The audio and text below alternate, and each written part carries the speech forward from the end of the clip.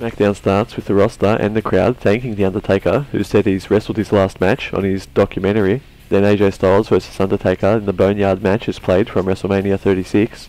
Lacey Evans, Dana Brooke, Nikki Cross and Alexa Bliss have a fatal four-way match to determine the number one contender for the Women's Championship, and Nikki wins with a roll-up.